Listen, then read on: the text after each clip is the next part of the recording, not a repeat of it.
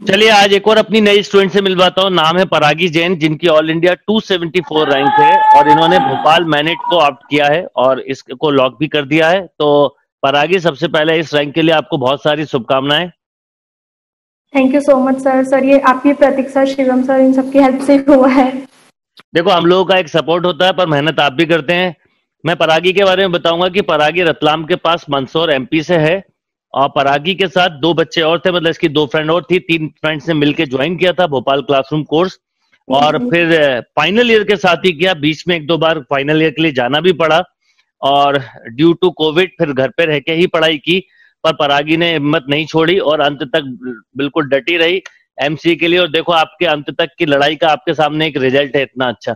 तो मैं एक चीज़ चाहूँगा कि क्योंकि आपने फाइनल ईयर के साथ पहले तो आप भोपाल आए भोपाल आके ज्वाइन किया फिर बीच बीच में कॉलेज को मैनेज हम्म। किया बाद में पढ़ाई की। तो जो आपकी सक्सेस स्टोरी है सक्सेस जर्नी है मैं चाहूँगा वो आप बताएँ क्योंकि आप जिस एरिया से आए अक्सर क्या होता है ऐसी जगहों से जो छोटी जगह होती है लोग निकलने से ही डरते हैं। पर आपने ये स्टेप फाइनल ईयर में रहते हुए उठाया अपनी पढ़ाई भी की कॉलेज को भी मैनेज किया और दोनों जगह परफॉर्म किया। सर जैसे मुझे फ़र्स्ट ईयर तक तो बस ये था कि हाँ बीसीए के बाद एमसीए करना था बट ये नहीं पता थी कि एमसीए कहाँ से करना था क्या था। हम्म। फिर हमारे कुछ सीनियर्स थे हमारे कॉलेज के ही उन लोगों ने एमसीए के लिए सर यही इम्पेटस को ही ज्वाइन किया था तो उनसे हमको पता चली थी कि यहाँ पर कोचिंग है। तो फिर हम लोगों ने सोचा कि अब कोचिंग करनी तो है तो फिर हम लोग भी इम्पेटस आ गए। और सर जब इम्पेटस आए थे और दो दिन बाद ही सीनियर्स की हमारे अवार्ड सेरेमनी थी सर उस दिन बैठ के मैंने उस दिन उनका सुनते सुनते सर मुझे लगा फील हुआ कि नहीं अगली बार मुझे यहाँ पे आना है और उनके साथ साथ मैं अपनी स्पीच रेडी कर रही थी उसी टाइम पर। मुझे बस ऐसा था कि अब कुछ भी करके अब क्लियर करनी है। बिल्कुल कितनी अच्छी बात बोली पर आगे जैसे मैं मैं अभी आपको बीच में रोकूँगा फिर आप बोलना। कि जैसे अभी मैं ये जो सेशन ले रहा हूँ, मैं बच्चों से यही बोलता हूँ कि इन सेशन को देख के, सबकी पढ़ने की स्टाइल सबकी लाइफ स्टोरी सबके अलग अलग तरीके होते हैं। पर जो इंपॉर्टेंट बात जैसे आपने बोला कि अवार्ड सेरेमनी देख के आप अगले साल की स्पीच तैयार कर रहे थे कि मुझे क्या बोलना है। और देखो, वो दिन भी आ गया। अभी अलग बात है कि अभी हम award ceremony due to Covid conduct नहीं कर पा रहे, इसलिए मैं अभी इस वजह से ये सब इंटरव्यू ऐसे कंडक्ट कर रहा हूँ। पर जैसे ही सब कुछ सिचुएशन सही होगी तो अवार्ड सेरेमनी भी होगी और जो आपका आपका जो सपना था वो पूरा वैसे अभी तो हुआ पर अवार्ड लेते हुए पूरा होगा तो मैं चाहूँगा कि जो आपके अंदर उस समय थॉट थे हम्म। जो आपने सोचा था स्पीच तैयार की थी मैं चाहूँगा वो आप बच्चों को ज़रूर बताओ सर उस टाइम बस यही था कि हम लोग मतलब मैंने यही सोचा था कि वहाँ पे खड़े होकर मैं बताऊँगी कि हाँ मैंने भी अपनी पूरी मेहनत करिए, जितना मुझसे हो सका मैंने सब कुछ किया है। बहुत सारे अप डाउन आए थे। जब भी मैं पेपर देती थी तो बहुत बार ऐसा होता था कि मैंने मतलब बहुत कम स्कोर आता था बट मुझे उस टाइम बहुत डिमोटिवेशन होता था कि पता नहीं अब कैसे होगा सिलेक्शन कैसे हो पाएगा, मैं कैसे करूँगी। पर फिर मैं अपने आप को थोड़ा संभालती थी, अपने आप को समझाती कि नहीं, कैसे भी कर लूँगी, मैं ट्राई करूँ।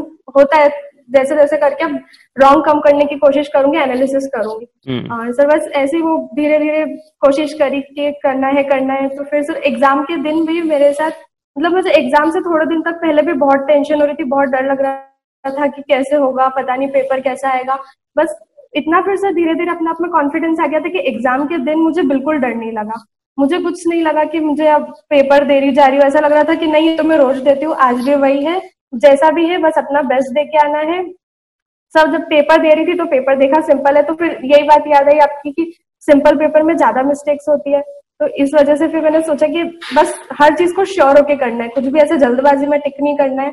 श्योरिटी से सॉल्व करना है। और सर फिर पेपर देने के बाद सेटिस्फेक्शन था इतना पता थी सर निकलने के बाद कि हो जाएगा मेरा।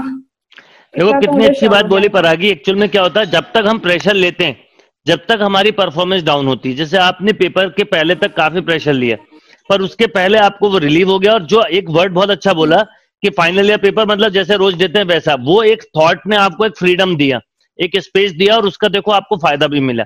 और बिल्कुल सच बात है कि सिंपल पेपर होना मतलब ज़्यादा डेंजरस होता है टफ पेपर अच्छा होता है पर इस बार का सिंपल था हर बच्चे को संभल के चलना था। एक एक नंबर पे तो ट्वेंटी से थर्टी स्टूडेंट हैं। मतलब हम चार नंबर पीछे पाँच नंबर पीछे पता चला हमारी हंड्रेड रैंक पीछे हो गई। तो ये काफ़ी अच्छा एक्सपीरियंस अच्छा ये बताओ आपने, आपका, क्योंकि कॉलेज का से परमिशन आपने कैसे लिया? और कैसे अपने, आपको आपने तैयार किया कि नहीं सेकेंड ईयर के बाद भोपाल आना है? क्योंकि अक्सर बच्चे ऐसे में सोचते हैं, हम ड्रॉप लेंगे, फिर निकलेंगे तो आपका उस समय क्या थॉट था? सर कॉलेज में हम लोगों की ऐसे ऑटोनोमस यूनिवर्सिटी थी तो ज़्यादा कुछ प्रॉब्लम था नहीं। वो लोग हम लोगों ने उनसे एप्लीकेशन वगैरह दे दी थी तो उन लोगों ने बोला कि ठीक है आप लोग जा सकते हो। फिर यहाँ आने के बाद बहुत बार ऐसा मतलब मैक्सिमम हर मंथ में मंदसौर आई हूँ वहाँ से। हम्म। बहुत कभी कुछ रहा होगा कि बहुत टाइम वाले कि हर मंथ मुझे मंदसौर आना पड़ता था। कभी कॉलेज के मिड सेम्स आ जाते थे कभी एंड सेम्स आ जाते थे। एक आध बार सर कंपनीज़ भी आई थी तो कॉलेज वालों का प्रेशर था कि आपको उसमें बैठना है तो उस वजह से भी मुझे जाना पड़ा था। पर फिर भी मैंने कहा कि ठीक है अब ये तो चलता रहता है। पर मैंने यहाँ पर भी अपनी पढ़ाई पूरी कंटिन्यू रखी थी। मैंने एक दिन भी बीच में ब्रेक नहीं लिया। तो कभी भी ऐसा नहीं रहा कि नहीं, आज मन नहीं है तो रहने देती हूँ। उस टाइम भी मैं थोड़ा बहुत टेस्टिंग वगैरह या कुछ ना कुछ कर लेती थी।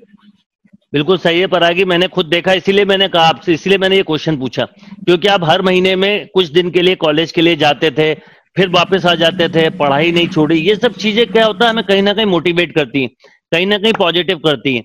कई बार क्या होता है ऐसे में, अरे, दोनों मैनेज नहीं हो रहा, फट से छोड़ देते हैं कॉम्पिटेटिव एग्ज़ाम मान लो आप छोड़ देते तो होता कुछ नहीं, आप फिर इस साल करते, पर नहीं छोड़ने का रिज़ल्ट आज आपके सामने अच्छा अब कोविड के बाद आपके सिचुएशन क्या रही और किस तरह से आपने उस टाइम को फेस किया?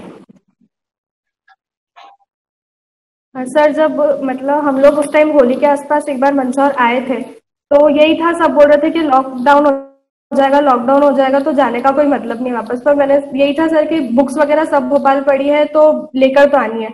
हम लोग बुक्स वगैरह लेने आए थे और चार पाँच दिन में ही वापस हम लोग मंदसौर आ गए थे।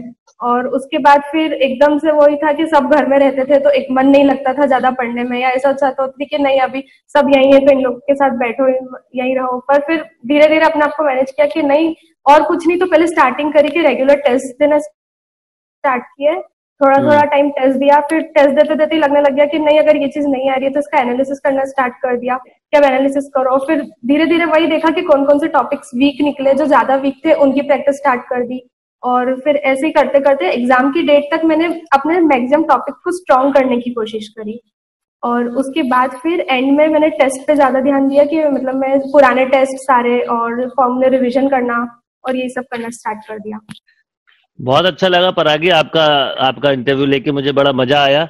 और क्योंकि आपने जो बीच में कॉलेज के साथ जो निमसेट को मैनेज किया ये अपने आप में एक बहुत अच्छा टास्क था जिसको प्रॉपर मैनेज किया। चलिए अब आप ऐसे ही आगे बढ़े और आगे भी सक्सेसफुल रहें और जिस जगह से आप हैं वहाँ पर भी और भी अपने जूनियर्स को मोटिवेट करें कि समय रहते हुए अपनी लाइफ में डिसीज़न लें और आगे बढ़े। Thank you and all the best thank you sir thank you